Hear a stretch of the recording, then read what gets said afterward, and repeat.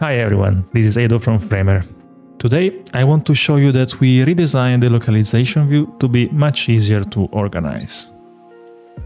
You can now fold all your translations into collapsible headers that you can expand when you wish, which unlocks new workflows that were not possible before, like translating an entire collection at once or clicking the three dots menu to hide all collection items in a certain locale which before was really tedious to do when you had a large number of collections.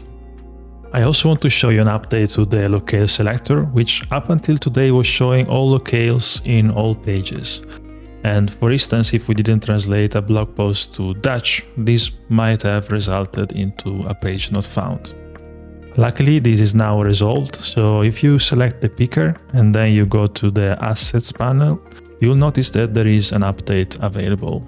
And after updating, if you preview again, you'll notice that the selector is now smarter and will only list the available locales for a certain page, in this case Italian and English.